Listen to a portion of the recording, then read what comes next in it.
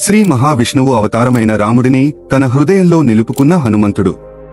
ఏకంగా తన స్వామితోనే యుద్ధం చేయాల్సిన పరిస్థితి వచ్చింది. కాశీరాజు యయాతిని చంపాలని శ్రీరాముడిని ఆదేశిస్తాడు విశ్వామిత్రుడు.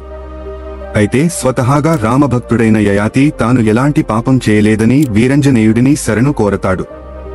యయాతిని రక్షిస్తానని ఆంజనేయుడు అభయమిస్తాడు. మహర్షి ఆజ్ఞ ప్రకారం యయాతిని తనకి అప్పగించాలని హనుమంతుడిని శ్రీరాముడి ఆదేశిస్తాడు.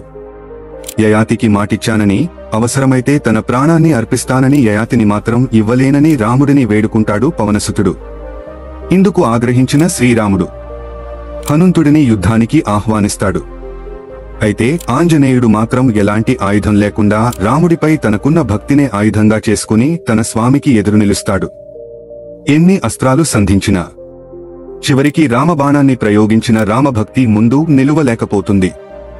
ఈ విధంగా శక్తి కంటే భక్తికే ఎక్కువ బలముందని హనుమంతుడు నిరూపించాడు.